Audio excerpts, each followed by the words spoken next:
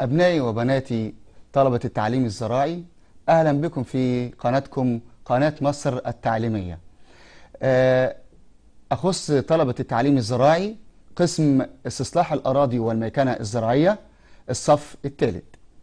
آه، معاكم اليوم مادة الهندسة والميكنة الزراعية والمادة زي ما كلنا عارفين لها ثلاث فروع. الفرع الأولاني الميزان المساحة بالميزانية والفرع الثاني المباني والمنشآت والفرع الثالث الآلات آه، والمعدات آه، الثقيلة نتكلم النهاردة في المساحة بالميزانية وناخد أول درس النهاردة وبعنوان الميزانية حد يسألنا يقول لنا يعني إيه ميزانية؟ إيه هي الميزانية؟ الميزانية لما حد يجي يقول لك كده يعني إيه ميزانية وأنت طالب في الصف الثالث متخصص قسم استصلاح الأراضي وده من لب تخصصك. الميزانية هي علم وفن. وعندما يقترن الفن بالعلم أكيد هتطلع شغل محترم شغل كويس جدا شغل يدل على إنك راجل مش مجرد فني مساحة لا أنت راجل مهندس مساحة. آه الميزانية زي ما قلنا هي علم وفن يبحث في إيجاد مقدار ارتفاعات وانخفاضات النقط. يعني الميزانية في الأساس بتبحث في قياس الأبعاد الرأسية بين الارتفاعات والانخفاضات. ده معنى الميزانية. الميزانية لها عدة أغراض. ما الغرض من استخدام الميزانية؟ أنت بتستخدمها ليه؟ أو ما هو دور الميزانية في الإنتاج الزراعي؟ الميزانية بتقدر تفيدني بإيه؟ في الإنتاج الزراعي. الميزانية لها عدة أغراض لها عدة أدوار. أول حاجة دراسة طبيعة سطح الأرض. إذا الميزانية بستخدمها في دراسة طبيعة سطح الأرض. طب أنا بدرس طبيعة الأرض إزاي؟ بدرس طبيعة الأرض لمعرفة مواقع الارتفاعات والانخفاضات. يبقى دي أول نقطة. فيما تستخدم؟ ما دور الميزانية؟ دراسة طبيعة سطح الأرض لمعرفة مواقع الارتفاعات ومواقع الانخفاضات. إيه كمان؟ أيضا بستخدم الميزانية في أن أنا أعين منسوب أي نقطة في الطبيعة. أستخدمها في تعيين منسوب أي نقطة في الطبيعة. أيضا من أدوار الميزانية وهو عمل قطاعات طولية لإنشاء الترع والمصارف. بعمل قطاعات طولية عشان أقدر أنشئ ترع مصرف جسور يبقى ده تاني تالت غرض الميزانية. طب والغرض الرابع أو الدور الرابع؟ بعمل قطاعات عرضية لإنشاء ها ركز معايا كده لإنشاء وترميم الترع المصارف الطرق. ده رابع دور من أدوار الميزانية. الدور الخامس للميزانية وهو حساب مكعبات الحفر والردم اللازمة لتسوية الأراضي. أنت عندك حتة أرض فيها عالي وفيها واطي. محتاج تسويها. يبقى أنت هتيجي تعمل العالي إيه؟ هشيل من العالي. طب والمنخفض أو الواطي تعمل فيه إيه؟ هردم. يبقى أنت عملت عمليتين حفر وردم. يبقى حساب مكعبات الحفر والردم لقطعة أرض يراد تسويتها. عمل خرائط كونتورية لتحديد الطرق. والخرائط الكونتورية بعملها أيضا عشان عملية التسوية سواء كان تسوية أفقية أو تسوية مائلة. أخيرا تنفيذ بعض المشروعات الهندسية من أعمال ترع ومصارف. إذا السبع نقاط اللي قلناهم دول دور الميزانية في الإنتاج الزراعي. إذا لما يجي يقول لك ما هو دور الميزانية في الإنتاج الزراعي؟ فيما تستخدم الميزانية أغراض الميزانية. أقول له إيه؟ أقول له واحد دراسة طبيعة سطح الأرض لمعرفة مواقع الارتفاعات والانخفاضات. اتنين تعيين منسوب أي نقطة في الطبيعة. أقدر من خلال الميزانية أعين منسوب أي نقطة في الطبيعة. ثلاثة أقدر أعمل قطاعات طولية عشان أنشأ ترعة أو مصرف.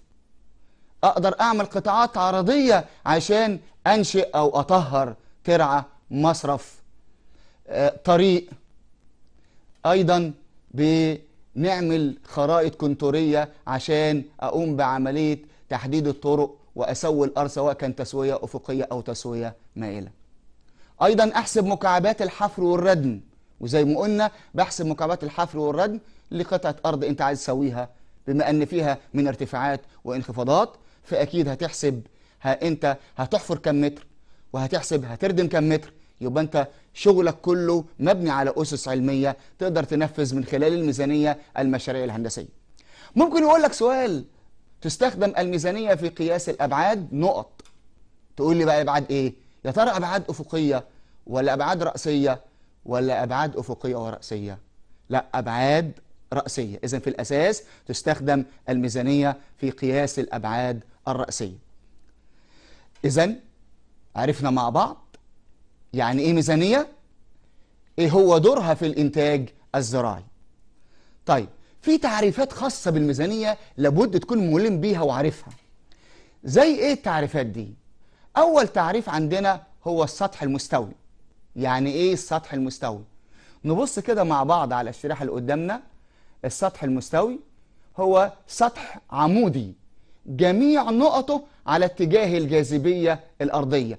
كل السطح بتاعي نقط السطح كلها على اتجاه الجاذبية الأرضية. يعني بص كده معايا لو أنا وريتك حاجة زي كده ده سطح مستوي. ده سطح مستوي. لو أنا رميت كده لو وقع مني كده وقع جزءه جزء منه ولا كل السطح وقع؟ لا ده كله وقع. ليه؟ وقع بفعل الجاذبية الأرضية.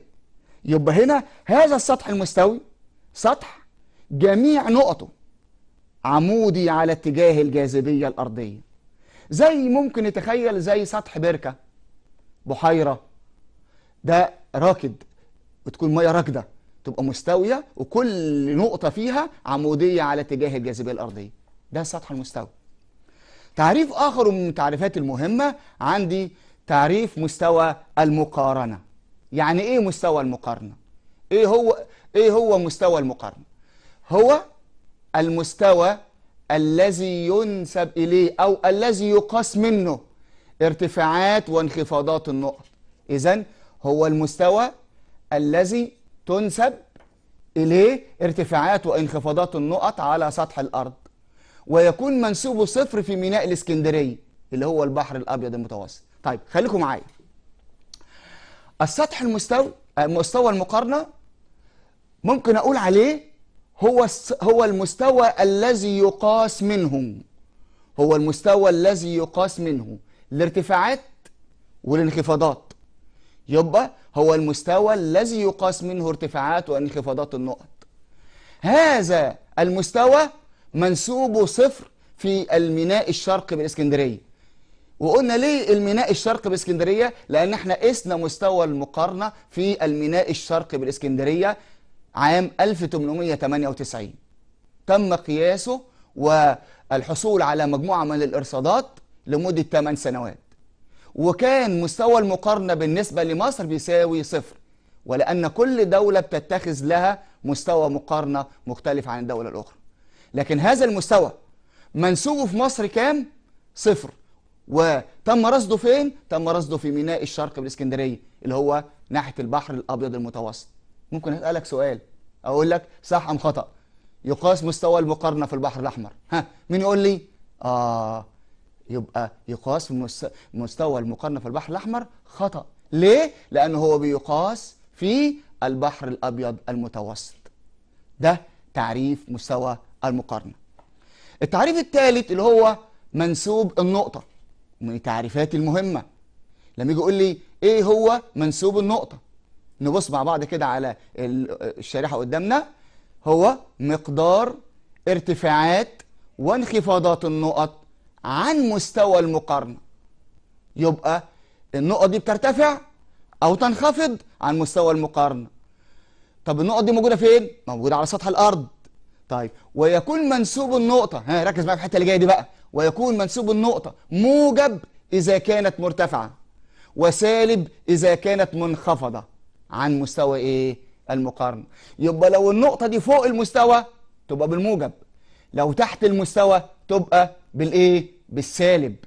يبقى لما نيجي نقول إيه هي أو إيه هو منسوب النقطة بقول له هو مقدار ارتفاعات وانخفاضات النقط عن مستوى المقارنة ويكون منسوب النقطة موجب إذا كانت مرتفعة وسالب إذا كانت منخفضة. يبقى لو النقطة فوق المستوى بتبقى موجب ولو تحت المستوى تبقى بالإيه؟ بالسالب.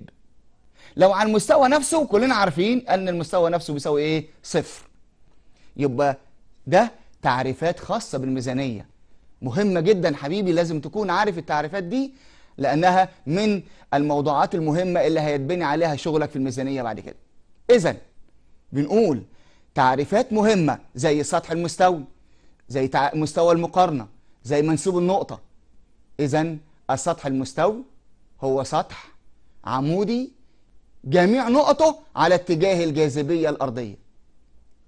ده سطح المستوي طب مستوى المقارنة؟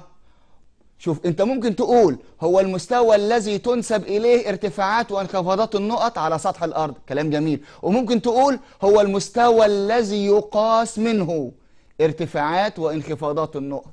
يبقى ده المستوى ده من عنده أقدر أقيس الارتفاعات ومن عنده أقدر أقيس الإيه؟ الارتفاعات. منسوبه كام؟ منسوبه صفر.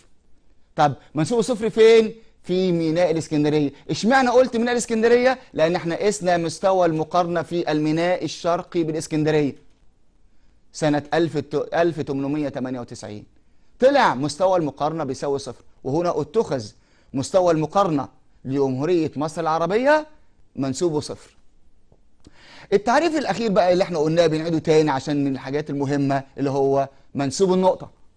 إيه هو منسوب النقطة؟ قلنا هو مقدار ارتفاعات وانخفاضات النقط مقدار ارتفاعات وانخفاضات النقط النقط دي موجودة فين؟ موجودة على سطح الأرض بالنسبة لمين؟ بالنسبة لمستوى المقارنة ويكون منسوب النقطة موجب إذا كانت فوق المستوى وبالسالب إذا كانت تحت الإيه؟ المستوى يعني لو فوق المستوى 8 متر تقول موجب 8 لو تحت المستوى 6 متر تقول سالب 6 تمام؟ اذا دول الثلاث تعريفات اللي بنقول عليهم تعريفات مهمة جدا في الميزانية. عرفنا يعني إيه ميزانية؟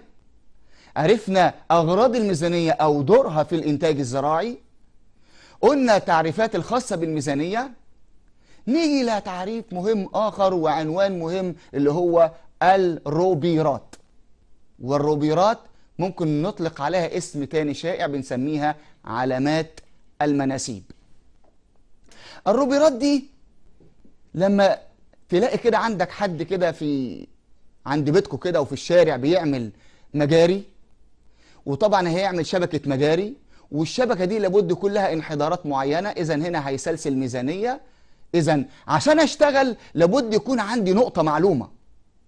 منسوب معلوم. أقدر أسلسل منه الميزانية. طيب إذا إيه هي الروبرات أو إيه هي علامات المناسيب؟ هي علامات معدنية. آه معدنية يعني معمولة من الحديد كلام جميل. علامات معدنية ثابتة. يبقى معدنية ثابتة مش هتتغير مش هتتحرك. علامات معدنية ثابتة وضعتها مصلحة المساحة. يبقى مين اللي هيحطها؟ مصلحة المساحة. هتحطها فين؟ هتحطها في الطبيعة. ليه؟ استرشادا بها في عمل الميزانية. إذا عشان تعمل ميزانية وتسلسل ميزانية لابد يكون عندك نمرة واحد نمبر وان يكون عندك روبير معلوم. انت عارفه. إذا الروبيرات علامات المناسيب نقطة الروبير كلها مسميات هي علامات معدنية ثابتة. وضعتها مصلحة المساحة في الطبيعة استرشادا بها في عمل ميزانية عشان أقدر أعمل الميزانية من خلال الروبير. طيب هتقول لي هي الروبيرات دي يعني أجيبها إزاي؟ أعرفها إزاي؟ نقول مع بعض الروبيرات نعرفها إزاي ونجيبها إزاي؟ من خلال حاجتين دفتر للروبيرات وخريطة للروبيرات. يبقى مصلحة المساحة. لما حطت الروبيرات دي في الطبيعة حطتها وعملت عندي مستند من خلاله أقدر أرجع لأماكن الروبيرات زي دفتر الروبيرات وخريطة الروبيرات الدفتر والخريطة بيبينوا لي موقع الروبير موجود فين. وبناء عليه أبدأ أسلسل من خلاله الميزانية. يبقى إحنا عرفنا هنستدل على مواقع الروبيرات إزاي؟ من خلال دفتر الروبيرات وخريطة الروبيرات كلام جميل. طيب هي الروبيرات دي بتتحط إزاي؟ يعني مصلحة المساحة حطتها إزاي؟ مصلحة المساحة راحت مقسمة المناطق إلى ثلاثة عندي مدينة منطقة سكنية يبقى بنسميها مدينة. وعندي أرض زراعية وعندي أراضي صحراوية. حتى الروبيرات دي على مسافة بتتراوح ما بين نص ل 4 كيلو. يبقى مسافات اللي وضعت عليها الروبيرات في الطبيعة من نص لأربعة نبدأ نشوف. طب في المدينة بتتحط كل قد إيه؟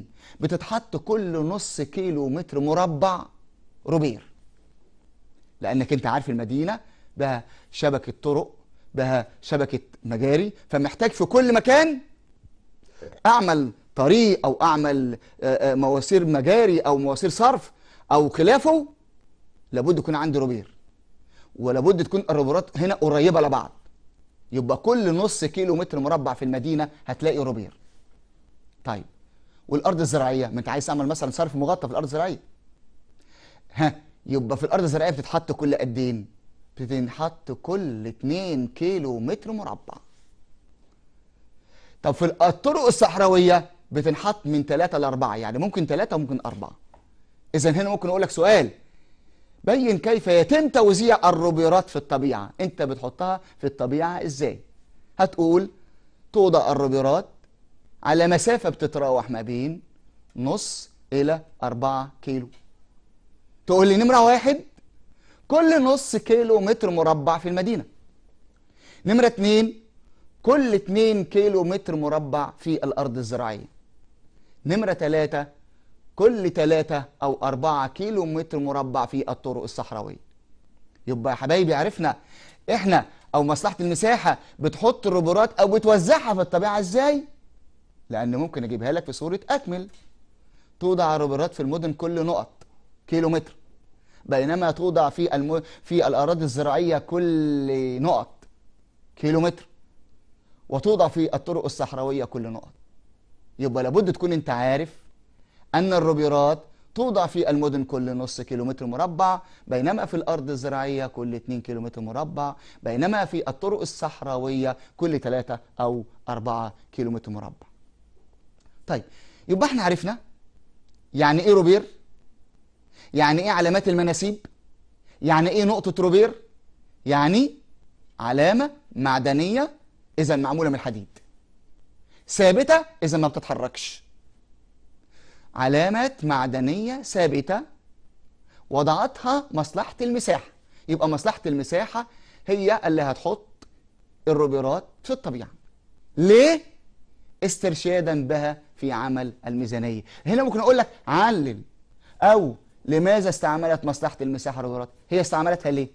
تقول لي استرشادا بها في عمل الميزانية. كلام جميل. وقلنا بتتوزع إزاي؟ نص في المدن اتنين في الأرض الزراعية ثلاثة لأربعة في الطرق الصحراوية. إيه أنواعها؟ إيه أنواع الروبورات ديت؟ أنواع الروبورات نوعين. عندي روبورات حائط وروبيرات أرضي. ها ركز كده بقى معايا. روبيرات روبير حائط وروبير أرضي. طب الروبير الحائط وإحنا قلنا عليه حائط ليه؟ أكيد كده بالبديهي كده هيبقى هنحطه فين؟ هنحطه في الحائط على الحيطة. طب يا ترى على أي حيطة ولا على حوائط معينة؟ لا طبعا. هنحطه في حوائط الحكومية الثابتة وأنت عارف إن الحيطة الحكومية صعب تتهد. هنحطه على كوبري هنحطه على قنطره يبقى إذا الحوائط الح... روبير الحوائط بتنح... بتثبت على الحوائط الثابتة زي الحوائط الحكومية وبتبقى على ارتفاع من الأرض 5 متر. توضع في الحائط على ارتفاع 5 متر. ده روبير الحائط. طب روبير الحائط منه نوعين درجة أولى ودرجة تانية. درجة أولى ودرجة تانية. طب نبص كده معايا كده في الشريحة قدامنا ديت هنا كده. زي ما قلنا كده بنراجع مع بعض بسرعة الروبيرات أو علامات المناسيب. علامات معدنية ثابتة وضعتها مصلحة المساحة في الطبيعة استرشادا بها في عمل الميزانية وتوزع في الطبيعة كالآتي. كل نص كيلو متر مربع في المدن كل 2 كيلو متر مربع في الأرض الزراعية كل 3 ل 4 كيلو متر في الطرق الصحراوية. إذا إحنا عرفنا إزاي بتتوزع. قلنا أنواع الروبيرات اتنين. روبير زي ما إحنا شايفين كده روبير حائط وروبير أرضي. وقلنا روبير الحائط يثبت في الحوائط الثابتة كالحوائط الحكومية. وده منه نوعين. روبير درجة أولى وروبير درجة ثانية.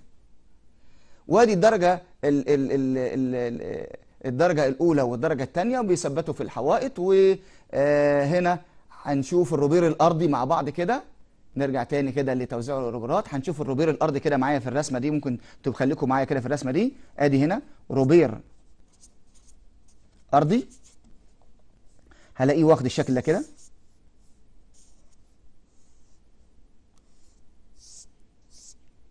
هنا. مدبب من أسفل. واخد جناحين هنا كده.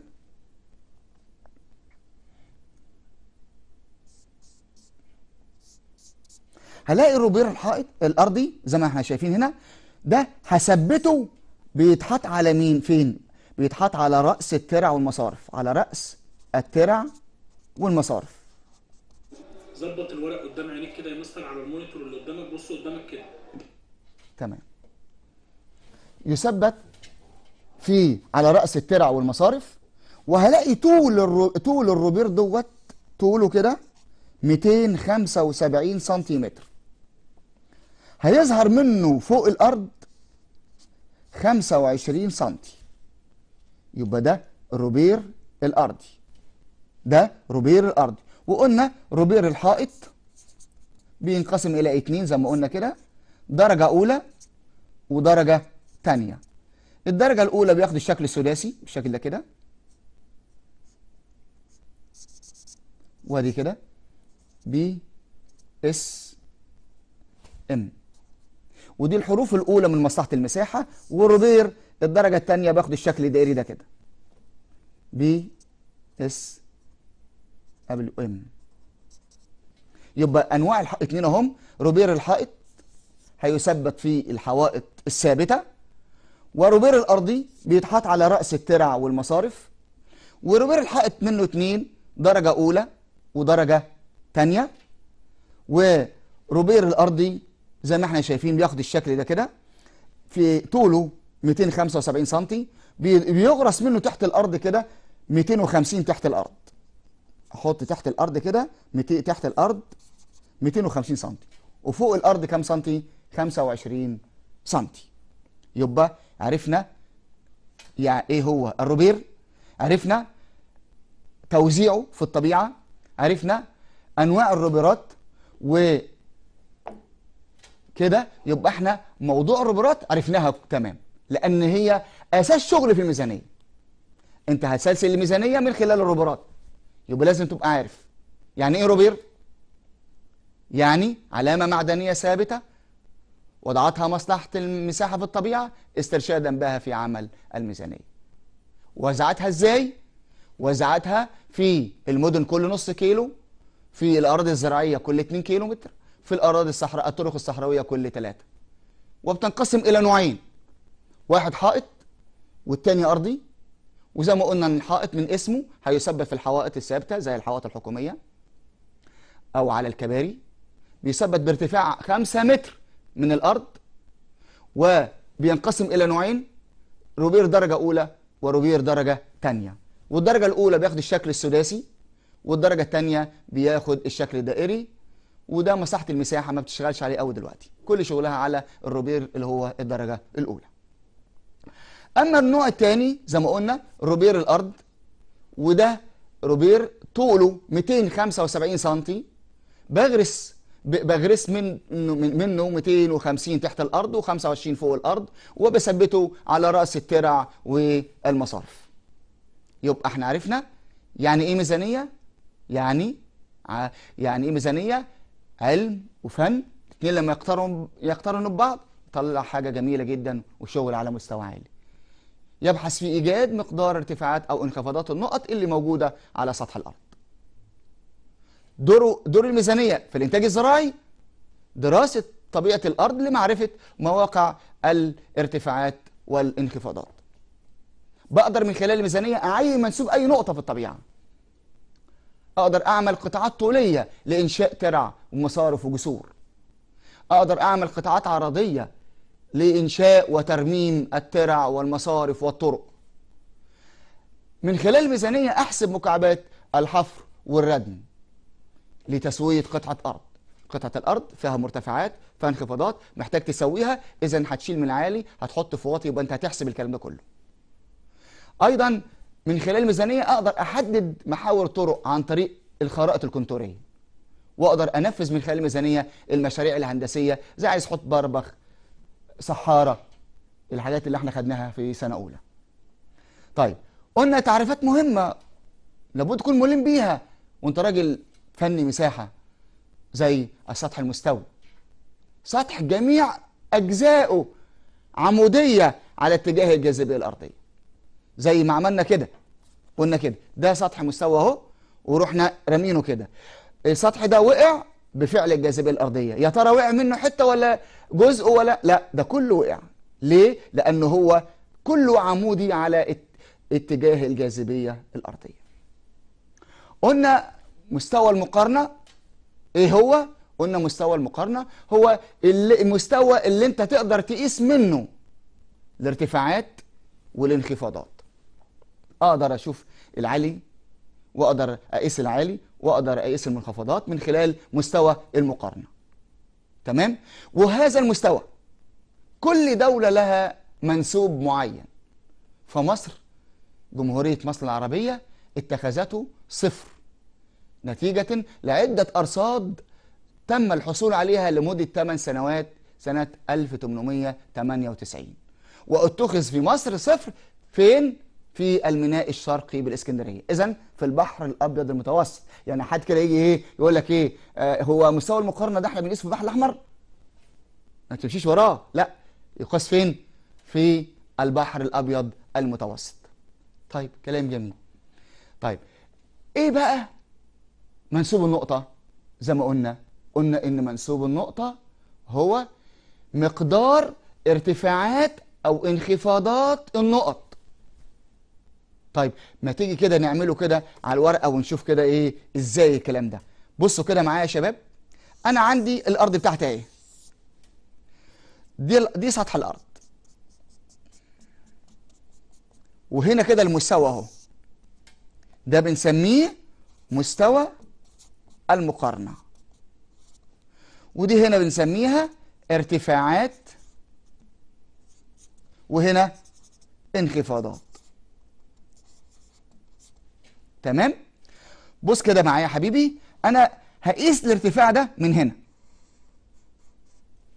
وهقيس الانخفاض ده من هنا. يبقى لما نيجي نقول ها مستوى المقارنة المستوى الذي يقاس منه الارتفاعات والانخفاضات. كلام جميل وعرفنا منسوبه إيه. لما نيجي نقول بقى منسوب النقطة أدي الارتفاعات وأدي الانخفاضات. شوف المسافة من هنا لهنا هقول عليها إيه؟ مقدار. مقدار إيه؟ ارتفاعات أو انخفاضات النقط. ما هي دي نقط يا جماعة. نقط مرتفعة ونقط منخفضة. هي النقط دي موجودة على فين؟ على سطح الأرض. يبقى هو إيه؟ مقدار ارتفاعات أو انخفاضات النقط اللي على سطح الأرض. تمام؟ بالنسبة لمين؟ بالنسبة لمستوى المقارنة. كده كده كفاية؟ لا لسه. ويكون منسوب النقطة ها ماله؟ موجب إذا كانت مرتفعة. وماله؟ سالب إذا كانت إيه؟ منخفضة. يبقى لو النقطة فوق المستوى بالموجب لو تحت المستوى بالإيه؟ بالسالب. تمام. يبقى نقول التعريف بقى من الأول هو مقدار ارتف... منسوب النقطة هو مقدار ارتفاعات وانخفاضات النقط على سطح الأرض بالنسبة لمستوى المقارنة. ويكون منسوب النقطة موجب إذا كانت مرتفعة. موجب إذا كانت إيه؟ مرتفعة. وسالب إذا كان إيه؟ منخفضة. تمام. منخفضة عن مين أو مرتفعة عن مين؟ عن مستوى المقارنة. إذا هو ده تعريف منسوب النقطة. دخلنا بعد كده في الروبيرات وقلنا مع بعض كده تاني كده بنعيد مع بعض كده عشان الناس تستوعب معايا الكلام اللي إحنا بنقوله. قلنا أن الروبيرات هي علامات معدنية ثابتة. ثابتة يعني يا شباب يعني إيه؟ مش بتتحرك. معدنية يعني إيه؟ معمولة من المعدن من الحديد. مالها بقى؟ وضعتها مصلحة المساحة في الطبيعة. خلي بالك يبقى مصلحة المساحة حطها فين؟ حطها في الطبيعة. ليه يا باشمهندس؟ استرشادا بها في عمل الميزانية.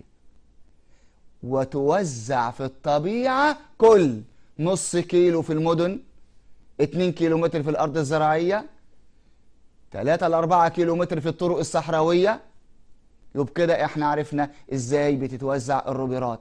اللي ممكن نقول عليها علامات المناسيب. اللي ممكن نقول نقطة الروبير يبقى ما تتلخبطش. يجي يقول لك عرف الروبيرات ماشي. عرف نقطة الروبير ماشي. عرف علامات المناسيب ماشي. يبقى التلاتة ها؟ التعريف ماله؟ واحد. نقطة الروبير هي الروبيرات هي علامات المناسيب. علامات معدنية ثابتة. وضعتها مصلحة المساحة في الطبيعة استرشادا بها في عمل الميزانية. إذا أنت مش هتقدر تعمل الميزانية بتاعتك إلا من خلال مين؟ الروبير. نستدل على الروبيرات إزاي؟ من خلال حاجتين دفتر الروبيرات وخريطة الروبيرات. دفتر الروبيرات وخريطة الروبيرات. يبقى المهندس لما يروح يعمل شبكة لمواسير صرف يبقى محتاج ياخد معاه إيه؟ ياخد معاه الدفتر بتاع الروبيرات وخريطة الروبيرات عشان المنطقة اللي هو فيها يقدر يحدد أقرب روبير للمنطقة دي فين ويبدأ يسلسل منه الميزانية. ولما نيجي ناخد مع بعض الميزانية وتدوينها وإزاي نحسب مناسبها هتعرف إن أول حاجة في الميزانية لابد تكون معلومة هي الروبير الأولاني. أو ممكن يبقى الروبير الأخير. وهنا بسلسل الميزانية عكسي. يبقى لو الروبير الأولاني عندك موجود بسلسل الميزانية بشكل طبيعي. من الأول إلى الثاني إلى الثالث وهكذا. طب لو الروبير الأولاني مش موجود والروبير الأخير معلوم يبقى بسلسل الميزانية تسلسل عكسي. يبقى أنت عرفت يا حبيبي كده إزاي نستدل على موقع الروبيرات؟ نستدل عليه من دفتر الروبيرات وخريطة الروبيرات. سؤال في سوره أكمل. يمكنك الاستدلال على مواقع الروبيرات من خلال نقط ونقط. ها هتقول إيه؟ من خلال دفتر الروبيرات وخريطة الروبيرات سؤال يقاس مستوى المقارنة في البحر الأحمر. ها هتقول إيه؟ خطأ. يقاس مستوى المقارنة في البحر الأبيض المتوسط. تستخدم الميزانية آه، في قياس الأبعاد. يا ترى أفقية ولا رأسية؟ ولا أفقية ورأسية؟ تستخدم الميزانية في قياس الأبعاد. أول حاجة هي الراسيه يبقى أبعاد الرأسية في أساس عمل الميزانية الر- الميزانية آه، آه، المساحية بتاعتنا. يبقى إحنا عرفنا كده؟ يعني إيه روبرات توزع إزاي؟ إيه. إيه أنواع الروبرات هنا بقى أنواع الروبرات بنقولها تاني. أنا عندي نوعين من الروبرات روبير حائط يبقى من اسمه هتحط فين؟ هتحط في الحائط. أي حيطة؟ أي مبنى؟ لا طبعا يتحط في الحوائط الثابتة اللي صعب إنها تنهد. يتحط في حيطة حكومية ينحط في آه، آه، على كوبري والمسافة أو الارتفاع بتاعنا من الأرض إلى الارتفاع اللي هتحط عليه الروبير 5 متر. وهنا روبير الحائط زي ما قلنا له نوعين. روبير درجة أولى بياخد الشكل الثلاثي وروبير درجة تانية بياخد الشكل الدائري. يثبت في الحائط. أما روبير الأرضي والروبير الأرضي طوله 275 سم يعني 2 متر و75 بأغرس منه في الأرض 2 متر ونص. طب في الأرض فين؟ أي حتة؟ لا تحط على رأس الترع أو على رأس المصارف طوله 275 وأنا بحط 250 اذا يفضل عندك ظهر فوق الأرض قد إيه؟ يظهر فوق الأرض 25 سم ده بالنسبة لأنواع الروبرات يبقى إحنا عرفنا الجزئية دي. يعني إيه ميزانية؟ عرفنا أغراضها عرفنا تعريفات الخاصة بالميزانية عرفنا الروبرات علامات المناسيب إيه هي بتستخدم في إيه إيه هو أنواعها. طيب أنت بقى لما تيجي تعمل ميزانية موضوع مهم بقى نيجي نعمل عايزين نعمل ميزانية. إيه أدواتي؟ إيه الحاجات اللي أنا هستعين بيها في شغلي؟ أول حاجة عندك في أدوات المستخدمة أو الأدوات المستعملة في عمل الميزانية هو القامة متر. ميزان المهندس الجنزير وشريط الصلب وشريط التيل ودفتر الروبيرات وخريطة الروبيرات والتيودوليت ومحطة الرصد اللي بنقول عليها total station تمام؟ لكن كل شغلنا هينصب على الميزان والقامة. طيب لما نيجي نقول الميزان إيه هو الميزان؟ هو آلة هندسية. طب جميل. إيه الغرض منه؟ أنت ليه بتستخدمه؟ إيه فايدته؟ الميزان آلة هندسية الغرض منه الحصول على مستوى نظر أفقي يوازي مستوى المقارنة. طب ما تيجي نشوف الرسمة دي كده مع بعض وعلى الطبيعة كده عشان تبقى واضحة لينا وسهلة في استيعابها. بص كده معايا. أدي الأرض بتاعتي. الأرض أهي. وده زي ما إحنا عارفين كده مستوى المقارنة. مستوى المقارنة. وهنا الميزان أهو.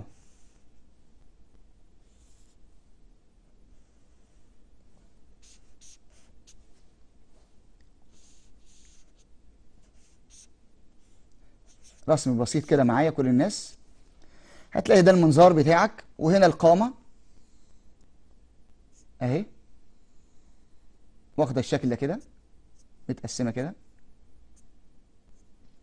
لما أجي انظر من المنظار من هنا هيطلع هنا كده مستوى وهمي. بنسميه مستوى النظر الأفقي. تمام؟ وده مستوى المقارنة. وده مستوى المقارنة. هذا المستوى بيوازي. ها علامة إيه ديت؟ علامة التوازي.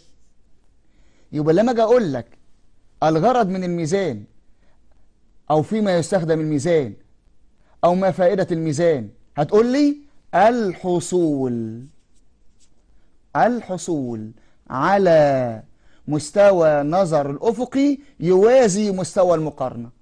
والمستوى ده مستوى وهمي يا شباب مفيش حاجة طالعة من عينك كده رايحة على على القمة في المنطقة دي. لا ده مستوى نظر أفقي بنسميه مستوى وهمي. تمام؟ يبقى لما أجي أقول لك إيه هو الميزان هتقول لي هو آلة هندسية. الغرض منه الحصول على مستوى النظر الأفقي يوازي مستوى المقارنة. حلو قوي كده؟ تمام. يبقى حد من الشباب كده يقول لي ما الغرض من الميزان؟ يقول لي إيه؟ ها؟ الحصول على مستوى نظر أفقي يوازي مستوى المقارنة. تمام أقول له برافو عليك. طيب الميزان ده بيتركب من إيه؟ يبقى لما نيجي نقول الميزان بيتركب من إيه؟ أول حاجة يا شباب هيتركب منها الميزان هيتركب من هيتركب من إيه؟ من المنظار. طيب طب ما تيجي بص نشوف رؤية عام رؤية عامة كده للأجهزة اللي إحنا قلناها كده معايا يا شباب. تعال بص كده معايا نشوف إيه؟ الأجهزة والأدوات المستخدمة عندي. هتبص تلاقي الأجهزة والأدوات المستخدمة في إجراء الميزانية. هلاقي نمره واحد الميزان أهو قدام منك أهو. ده الميزان. هتلاقي نمرة اتنين القامة. أهي اللي جنب الميزان أهي. هتلاقي نمرة ثلاثة الشرائط بأنواعها. وأنت طبعا في الصف الأول الزراعي درست معانا الشرائط بشكل يعني مستوفي. الشرائط سواء كانت شريط صلب شريط تيل. أهي ده نوع منها. ده شريط تيل. آه أيضا آه دفتر الروبيرات و- وخريطة الروبيرات اللي إحنا قلنا عليها قبل كده. ودفتر ميزانية الغيط اللي انت هترصد فيه القرايات بتاعتك اللي انت خدتها. وطبعا عندي بعد كده آه، التيودوليت ومحطة الرصد المتكاملة اللي إحنا بنقول عليها total station ودي طبعا يعني آه، اللي يهمنا دلوقتي هنقوله هو الميزان والقامة. والحاجات التانية طبعا دي دي الشوكة وانت خدتها سواء كان شوكة عادية أو شوكة مثقلة. وده وتد بتستخدمه في تعيين النقط الثابتة عندك.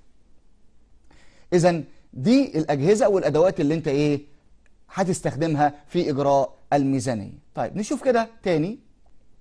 الميزان. هو جهاز الغرض منه الحصول على مستوى نظر أفقي يوازي مستوى المقارنة. ده تعريف الميزان والغرض منه أو فائدته أو استخدامه. يعني ما حدش يجي يقول لك إيه هو الغرض من الميزان إيه؟ تقول لي الحصول على مستوى نظر أفقي يوازي مستوى المقارنة. حد تاني يقول لك إيه؟ طب فايدة الميزان إيه؟ تقف كده وتتكلم؟ لا. أنت راجل فاهم. إذا الغرض هو الفايدة. هو الاستخدام. الحصول على مستوى نظر أفقي يوازي يوازي إيه؟ يوازي مستوى المقارنة. كلام جميل. طيب زي ما إحنا شايفين كده علامة التوازي اللي عندك في الرسمة هنا. طيب المسافة ما بين مستوى النظر الأفقي ومستوى المقارنة ده المسافة دي بنسميها منسوب سطح الميزان اللي هو بنرمز له بالرمز ميم س ميم. يبقى لما يجي يقول لي إيه هو منسوب سطح الميزان أو إيه هو ميم س ميم؟ طبعا ميم س ميم ده رمز منسوب سطح الميزان. والرمز ده هنستخدمه كتير جدا في. في المسألة لما نيجي نحل مسألة الميزانية.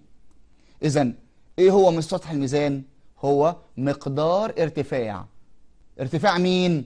مستوى النظر الأفقي عن مستوى المقارنة. يبقى لما نيجي نقول تعريف منسوب سطح الميزان أو تعريف ميم س ميم يعني واحد كده أقول له إيه آه سؤال مثلا يعني أقول لك إيه إيه هو ميم س ميم؟ يقوم يقول لي إيه ميم س ميم هو هو منسوب سطح الميزان. طب ماشي ما أنا عارف إن هو منسوب سطح الميزان لكن أنا أقصد منك إيه عرف لي منسوب سطح الميزان. هتقول هو مقدار ارتفاع مستوى النظر الأفقي عن مستوى المقارنة. كلام جميل. يبقى عرفت مصطلح مهم جدا. وممكن أقول لك إيه؟ ممكن أقول لك اكتب المصطلح العلمي. اكتب المصطلح العلمي. هو مقدار ارتفاع مستوى النظر الأفقي عن مستوى المقارنة. تفكر كده مع نفسك كده وتقول الله هو إيه؟ هو خاص بإيه؟ هتقول لي آه. ده ميم س ميم. اللي هو منسوب سطح الميزان. يبقى خلي بالك لأن الأسئلة متنوعة وبسيطة. ممكن أجيب لك سؤال كده شكله كبير بس الإجابة سهلة بسيطة. اكتب المصطلح العلمي لكل من؟ ويقول لك المصطلح ويقول لك الجملة ال- ال- ال- التعريف نفسه أو الوظيفة. هو مقدار ارتفاع مستوى النظر الأفقي عن مستوى المقارنة. هتقول لي هو منسوب سطح الميزان. هي علامات معدنية ثابتة. ها المصطلح العلمي هو إيه؟ الروبيرات أو نقطة الروبير. تمام؟ أقول لك مثلا آه، آه، كمصطلح علمي هو المستوى الذي يقاس منه ارتفاع وانخفاض النقط. هتقول لي مين؟ هتقول لي مستوى المقارنة. هو مقدار ارتفاعات وانخفاضات النقط على سطح الأرض بالنسبة لمستوى المقارنة. تقول لي مين؟ تقول لي منسوب النقطة.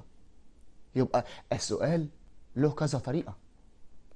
أقدر أقول لك عرف كل مما يأتي منسوب نقطة مستوى مقارنة روبيرات سطح مستوي الميزان ميم س ميم وأقدر أقول لك أكتب المصطلح العلمي لكل مما يأتي. كذا وكذا وكذا وكذا. تمام؟ يبقى عرفنا يعني إيه ميزان. طيب لما نيجي نقول لما لما نيجي نقول بعد كده خلي بالك معايا بقى في الشريحة اللي جاية ديت الميزان بيتركب من إيه؟ مما يتركب الميزان. يتركب من الآتي. أول حاجة عندي المنظار. المنظار اللي انت هتبص منه. أهو قدام مني كده على الشريحة المنظار. والمنظار يتكون من عدسة عينية وعدسة شيئية وعدسة إضافية مسمار التطبيق وحامل الشعرات العدسة العينية ودي وظيفتها إيه؟ الحصول على صورة معتدلة مكبرة. وحتة معتدله دي هنعرفها لما نيجي ناخد القامة. الحصول على صورة معتدلة مكبرة. طب والشيئية؟ للحصول على صورة معتدلة مصغرة. والإضافية بنسميها عدسة مساعدة. لتغيير البعد البؤري للشيئية حسب بعد الجسم. طب مسمار التطبيق لإظهار وتوضيح صورة القامة. طيب وحامل الشعرات عشان يحدد محور المنظار أي أستخدمه لتوجيه المنظار في اتجاه معين. طيب يبقى خليك كده معايا بقى نقول تاني حتة المنظار دي. مع بعض كده خليك معايا نقول حتة المنظار. إحنا قلنا المنظار عبارة عن أنا ه- اللي أنا هبص منه كده. اللي أنا هبص منها دي عدسة عينية والتانية دي عدسة شيئية. تمام؟ طيب يبقى العدسة العينية دي وظيفتها إيه؟ الحصول على صورة معتدلة مكبرة. والشيئية بتديني صورة معتدلة مصغرة. تمام؟ تمام. طيب افرض أنا ببص كده من المنظار بس مش شايف الرؤية مغشلقه مش واضحة عندي. أعمل إيه؟ عندك مسمار في الجنب اسمه مسمار التطبيق. اسمه مسمار التطبيق. أنا ببص من هنا كده يا شباب فمش شايف كويس؟ فهبدأ أحرك مسمار التطبيق ده يا إما للأمام يا إما للخلف. زي بالظبط واحد يجي كده قايم من النوم فشايف الدنيا مغشلقة كده مش شايف كويس. فيعمل في عينه كده. أنا شايف كويس. هو ده مسمار التطبيق. يتحركوا لقدام الأمام أو تحركوا للخلف. يقوم يظهر عندك بمنتهى الوضوح. كأن القامة قدامك بالظبط. تمام؟ تمام. طيب يبقى إحنا عرفنا كده؟ العدسة العينية خلي بالك معايا عشان أحصل على صورة معتدلة مكبرة والشيئية عشان أحصل على صورة معتدلة مصغرة ومسمار التطبيق عشان يظهر لي صورة القامة. يوضحها لي. الرؤية مش واضحة من خلاله. طيب كلام جميل. إيه كمان عندك؟ عندك حامل الشعارات طيب تعالوا بصوا كده نشوف مع بعض كده حمل الشعارات كده على الورقة كده رسمة له كده عشان نقدر نستوعبها مع بعض. خليكم معايا هنا. حمل الشعارات اهو. حامل الشعارات. عبارة عن إيه؟ قرص زجاجي اهو. هذا القرص الزجاجي محفور عليه الثلاث شعرات دول. والثلاث شعرات أفقية. وشعرة رأسية. يبقى اذا حامل شعرات اهو. ده قرص زجاجي. قرص زجاجي. محفور عليه شعرة اتنين تلاته أفقي وشعره رأسي. أنا برصد القراية. خلي بالك بقى دي هسميها الأول كده معايا ركز معايا. هسميها إيه؟ الشعره الوسطى. ودي بسميها الشعره العليا. ودي بسميها الشعره السفلى. وديت الشعره الراسيه هم، يبقى إحنا بنقول أهو قرص زجاجي محفور عليه شعرة اتنين تلاتة أفقي وشعرة إيه؟ رأسية. تمام؟ أنا برصد القراية على الشعرة الوسطى إنما العليا والسفلى دي أسميهم بشعرات الاستاديا شعرتها مين؟ الاستاديا طب انت بترصد على الشعرة الوسطى. طب العليا والسفلى شعرات الاستاديا دول بيستخدموا في إيه؟ ده إن شاء الله حبايبي الحلقة القادمة نقولها مع بعض ونراجع على اللي إحنا خدناه من أول دور الميزانية وتعريفها واغراض أو أغراضها وتعريفات الخاصة بالميزانية والروبرات وأنواع الروبرات ودخولا على الأجهزة والأدوات المستخدمة في عمل ميزانية. أبناء الطلبة. أشوفكم آه، قريب إن شاء الله في الحلقة القادمة. عند ها الناس تبقى فاكرة معايا عند إيه؟ عن شعارات الاستاديا بيستخدموا في إيه شكرا سعدت بوجودي معكم.